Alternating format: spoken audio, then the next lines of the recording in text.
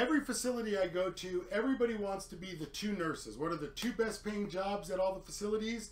Wound care, PICC nurse. And I always look at the wound care and go, oh, that looks like fun. And they always look at me and go, so does that. But nobody nobody wants to be any other, you know what I mean? Nobody wants to be the charge nurse. Nobody wants to do a meds card. PICC nurse, awesome. The money's fantastic. Uh, and if you watch my channel, piccnursebootcamp.com, I'll show you in 90 seconds how you do a midline or a PICC right here. And if you come to piccnursebootcamp.com and you sign up for on-site day after you've studied everything, after you've practiced with your kits, after you've watched the videos, after you've got everything else done, what you'll quickly realize is they pay you 150 bucks for 90 minutes. But only two minutes of it is the procedure. So if we can smooth out the rest of the job, shorten it, get our paperwork under control, decrease procedure times.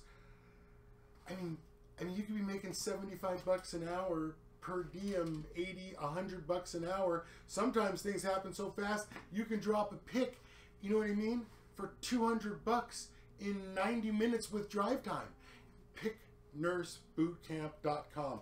I've got everything you need. So when you apply for the job, you already have a couple of sticks. PiccNurseBootcamp.com. Genius job. Super fun.